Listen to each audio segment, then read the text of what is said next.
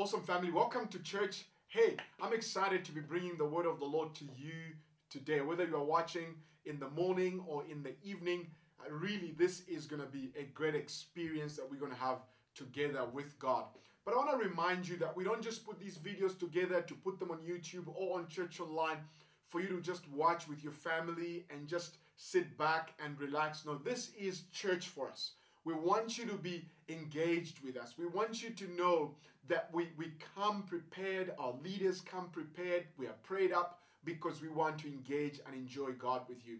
We also want to make sure that you are growing in God, that you are connected in community. And so if you're watching this and you don't belong to one of our online connect groups, I'm asking you right now, if you could just let us know in the YouTube comment section or on Church Online, just click on I want to get connected. And some of our leaders will attend to you right now and get you connected and get you growing in God. It's important for us that that happens with you so that it doesn't just remain an online experience, but we want to get together as a community and keep growing together.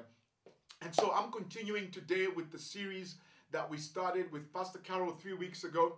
And really was great. Last week, Pastor Carol was talking about the, the, the power of praise and really just what, what praise and our ability to praise God would bring for us and do for us. And the week before, Pastor Andrew was talking about the power of prayer, really understanding and shared the different revivals and just understanding the power that we have in prayer.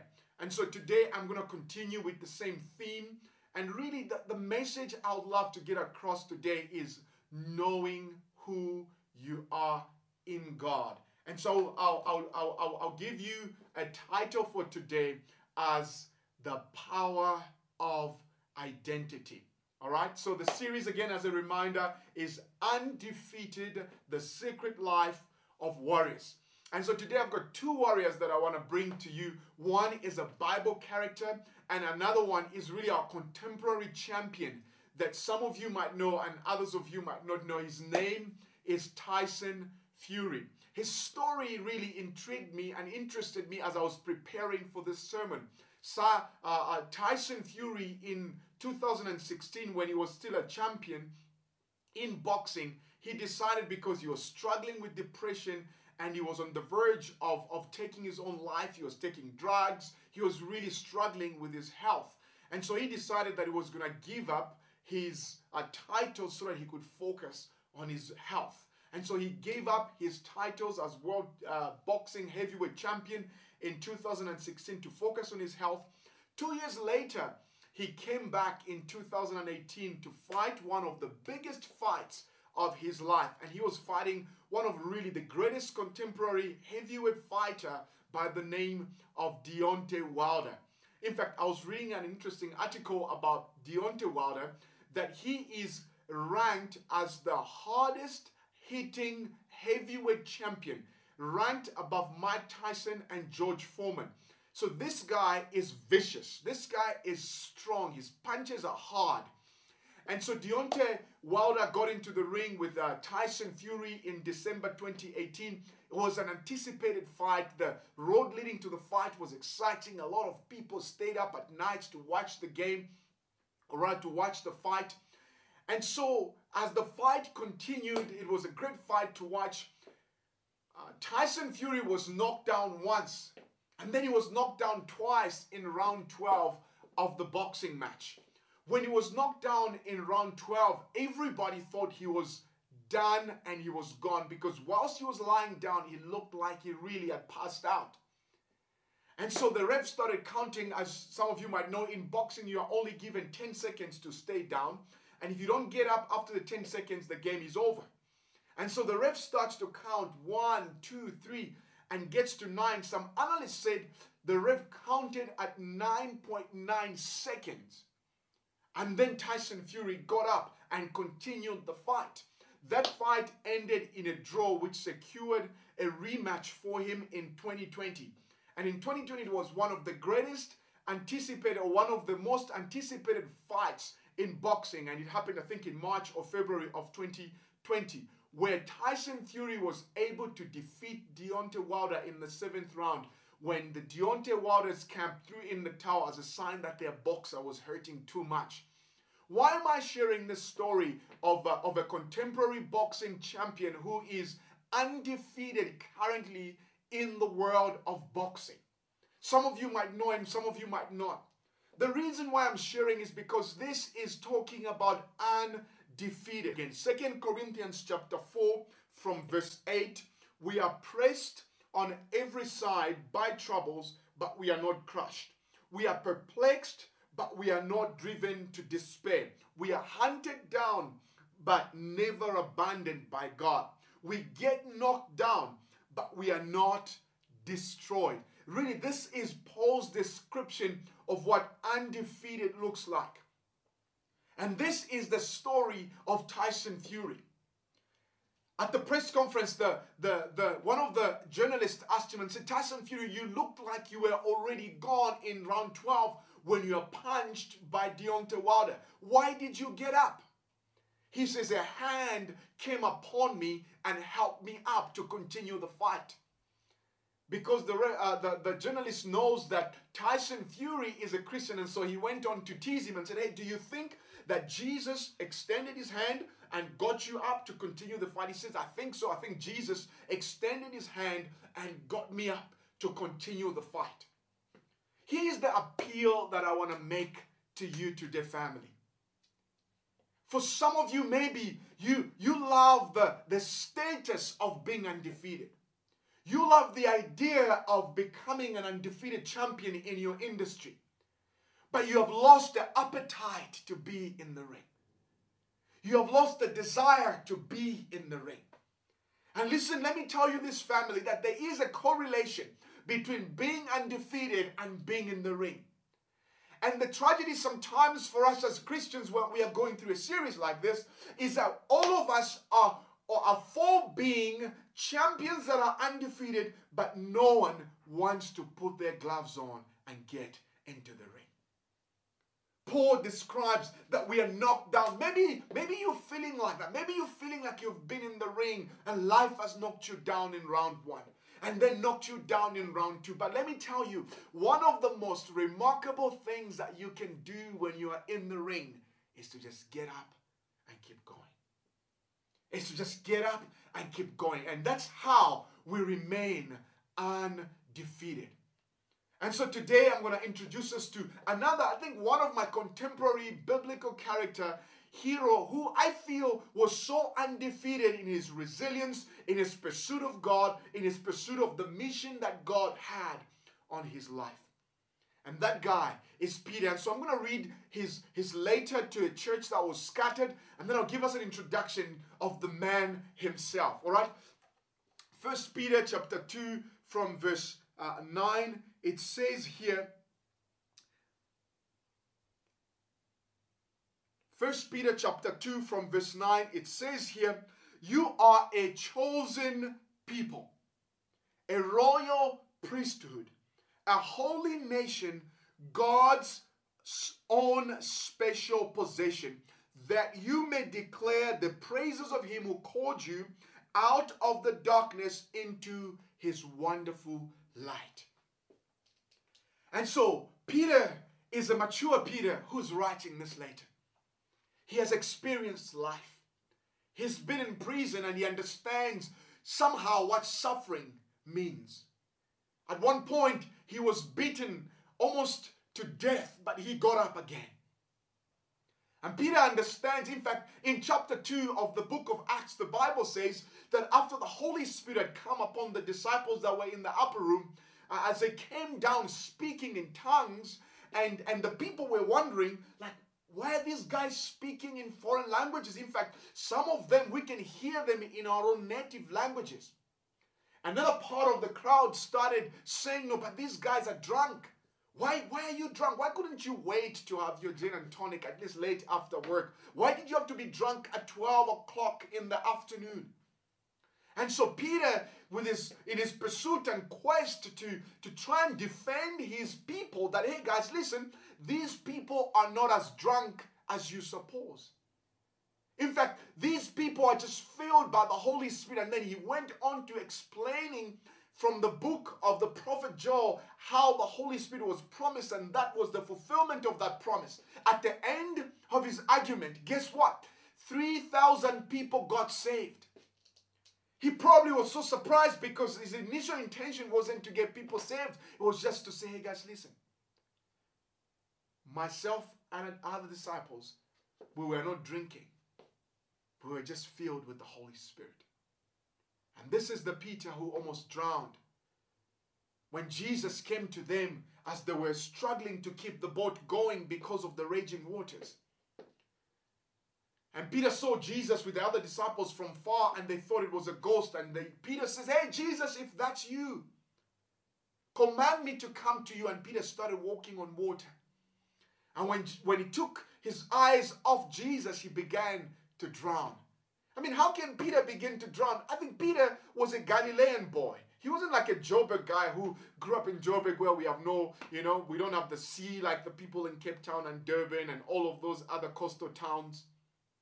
He was a Galilean boy. He grew up at the sea. He was a fisherman.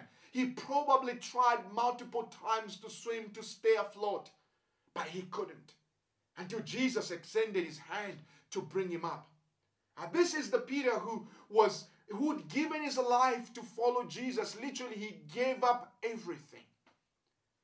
And only to come to a place where he was so beaten down, so disappointed, he even denied Jesus three times. And history says that Peter was not even present at the cross when Jesus was being crucified because he was so disappointed. He was down, beaten life. But one thing about Peter, he wasn't out. He was down, but he wasn't out. And so Peter's writing this later. He's writing this letter to a church that is scattered. The church is scattered because of persecution, and this persecution was, was an unusual persecution because uh, it, history says that during this time the reigning emperor was Emperor Nero. And this emperor was, was ferocious, he was vicious against Christians. History goes as far as saying that this guy murdered his own mother. He, he conspired to, to burning down the city of Rome so that he would rebuild, he, he would build rather his own palace. Because the Senate wouldn't let him build the palace. And when he did burn the city of Rome, what he did was that he said to the people that it's the Christians that burned that city. And so the persecution became even more fierce against Christians. And this guy, this is what he would do. He would, he would, he would put animal skin on Christians and feed them to ferocious animals. He would burn Christians on the stake and use them as, as, as torches for the night for his personal entertainment. And so Peter is writing to a people that is hopeless. A people that is wondering, where's God in the midst of everything that is happening? He's writing to people like myself and you who had families, who had brothers, who had sisters, but yet they were scattered, and some of them were scattered away from their families. Some of them were had left their work. Some of them had left their businesses, uh, their farms, their fields. And these people were scattered for the sake of the kingdom, for the sake of the gospel. And Peter is writing to them because he's wanting them to understand certain things that in the midst of adversity and trouble, when you feel like in your heart there is no more hope to continue the journey of life, when you feel like life has just beaten you so much, such that the energy to continue the journey is gone, and Peter is wanting them to understand certain things. I could almost feel in this appeal that Peter is making in 1 Peter 2 9, almost shaking off the hopeless, uh, the hopelessness out of them. He's saying to them, listen, I want you to know that you are a chosen people. You are a royal priesthood.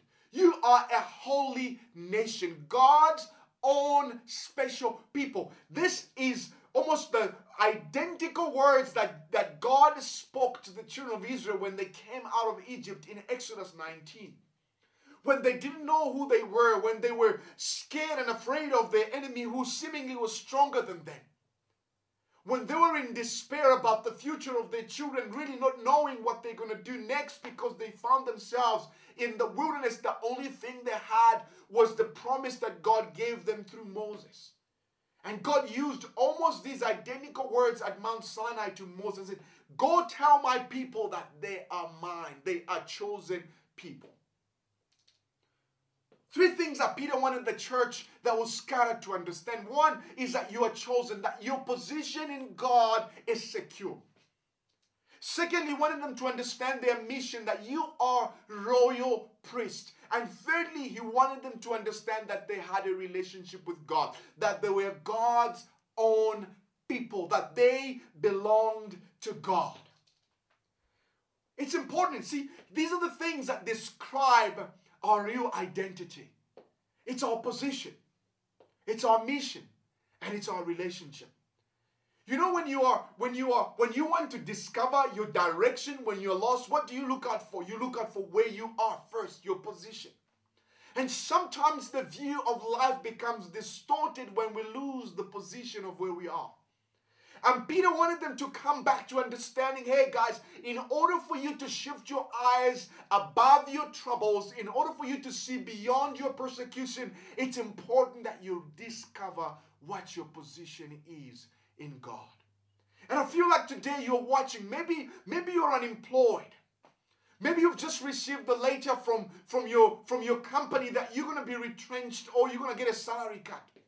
Maybe you are beyond, behind in payment of your car or your house. Or maybe your children are home and you just you are just not coping with the fact that you have to combine work with homeschooling. Maybe you are just feeling and you are battling with depression because life is becoming too overwhelming and you are feeling too overwhelmed and too burdened by just the affairs of life. And you're watching this and you're questioning yourself and you're wondering, hey God, where are you in all of this. And here's the message that God is bringing to you this morning. Hey, your position in God is secure. You are a chosen person. When you find your position in God, you begin to change your view because when you see where you are, you can see from where you are. And if from where you are is a wrong position, whatever you see becomes wrong. If your position is not correct, your direction can be incorrect. And so Peter wanted them to understand their position in God. And the second thing Peter wanted to understand, which is critical for their identity, is the fact that they have a mission that has eternal significance. That it's a mission like no other mission. Like, yeah, maybe your job right now is not giving you that missional thrust. Maybe you're feeling like your life carries no mission, no purpose, nothing. Maybe you're feeling like you're useless. Maybe you are a tradesman or a tradeswoman, or, or you, you own the business that kind of defined who you were and defined your mission in life. But now that nothing else is working because we are in lockdown, because of COVID 19, you are feeling like you have no more mission on your life. Now, let me remind you there's a mission on your life that carries an eternal significance. And that mission is the fact that you are a royal priest, that God literally has called you as one that would stand before Him on behalf of the people that do not know Him and call them into the kingdom. That is the greatest mission that you can ever have on your life. The people for whom Jesus gave up His life are the ones that God has given you responsibility over to reconcile back to Himself. And that's the mission that you have on your life. And thirdly, Peter wanted them to understand hey, you belong to God. And I feel like this morning I want to speak to the lonely. You are feeling alone, man. You're feeling like, like, like nobody understands the degree of your loneliness. You cook for yourself, you bath for yourself, you drink for yourself, you wash dishes for yourself, and then you cook again for yourself. And you try to explain to people how lonely you are, but nobody can understand. But let me tell you this morning, family, you belong to God. You belong to God. You are God's own special possession, that your relationship in God is unbreakable.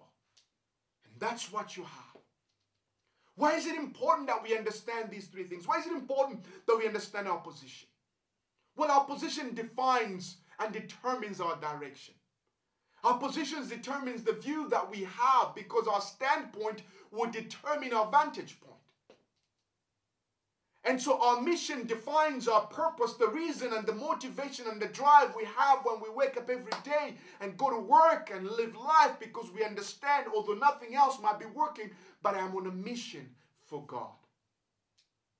And thirdly, your relationship, man, when everybody around you seems not to want you, when you feel unwanted, when you feel rejected and ostracized by people, let me reassure you that you have a relationship with God and nothing break that relationship that you have with God. And so Peter wanted them to understand these things because he knew that if they would understand this, they would overcome their persecution. Because in the midst of trouble, the enemy comes after your identity. When you're going through adversity, the enemy comes and begins to whisper to you that you are not good enough, that you don't have what it takes, that you cannot achieve the dreams and aspirations that God has placed on your heart. That the hope for your children's future is no longer there because of what's happening around you. The enemy comes and begins to whisper things to your ears so that he can take away the sense of identity that you have in God. And Peter wanted them to understand these things. Why is it important that today we need to understand these things? Two points I have for you for those who are writing, and then we're going to close. The first one is that your, your ability to love other people is a function of your self love.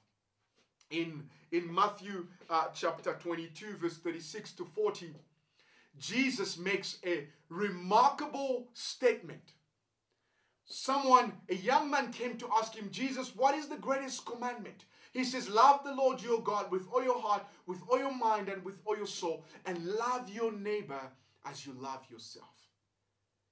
One of the greatest commandments is your ability to love your neighbor as you love yourself.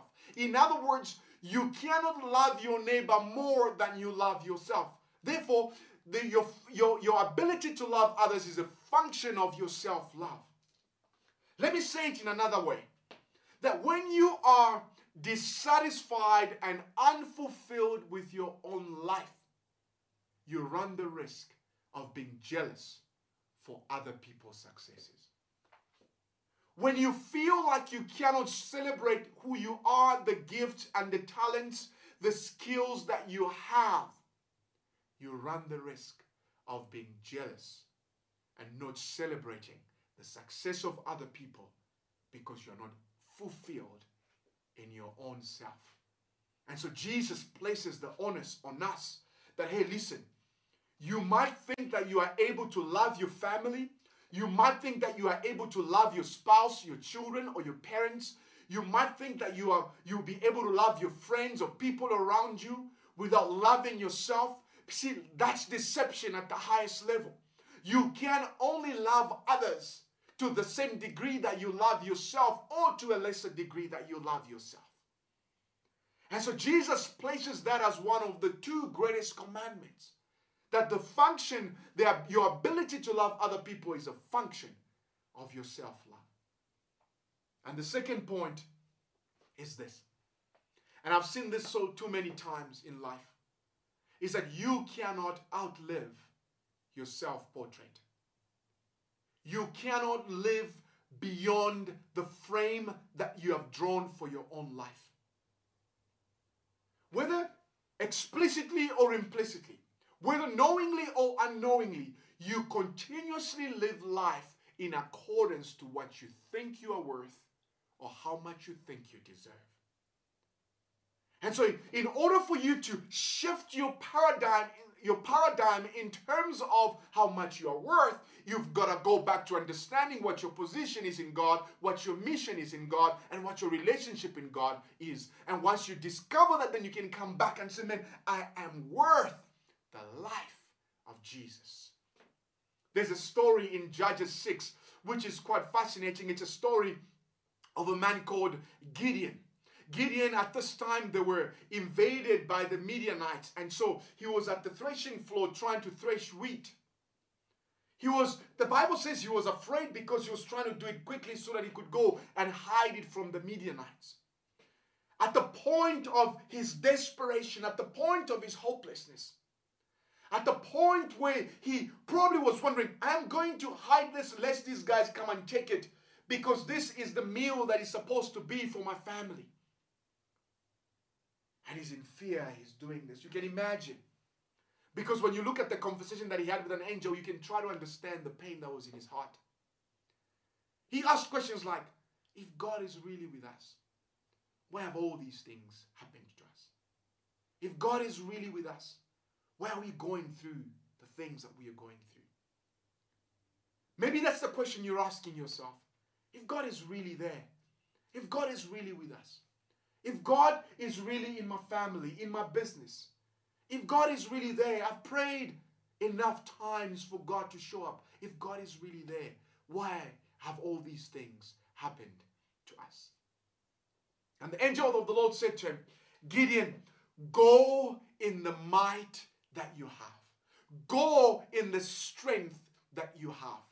Perhaps Gideon was expecting that the Lord or the angel of the Lord was going to tell him more than what he'd already given him. Let me remind you this morning, family, as I close. You have what it takes to achieve the mission that God has on your life. You are worth the very life of Jesus.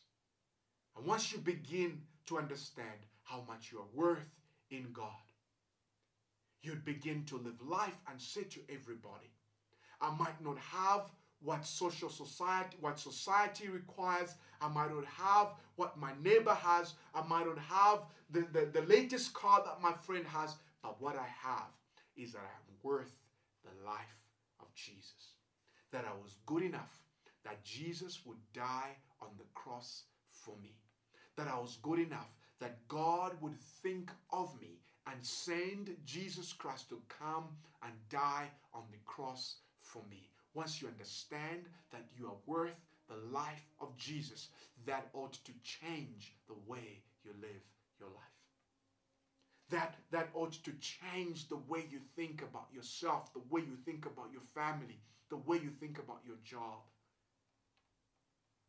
And so, in conclusion, in order for us to be undefeated in our industries, to be undefeated in our lives, in order for us to remain and keep the status of undefeated champions, it is important for us to understand our position in God, our mission in God, and our relationship with God. Once we understand those three things, then we know that we can outlive life and its boundaries over us. And we know that we can be able to love the way God wants us to love. And if you know in your heart that you have never really made a real decision and commitment to follow Jesus Christ as your personal Lord and Savior, I'm launching this invitation. We've got leaders right now praying with you and praying for you, waiting for you to make this decision so that we can reach out to you and walk this journey with you. And so if you're watching on YouTube, please type in the comment section that I would love to commit my life to Jesus or there's a form that has been posted now, a link to a form that you can click on and and and and, and get hold of us.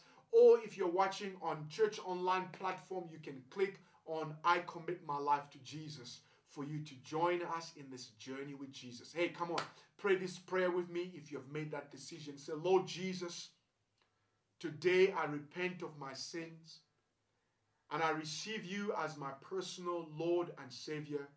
I commit myself to walking this life with you. In Jesus' name, amen.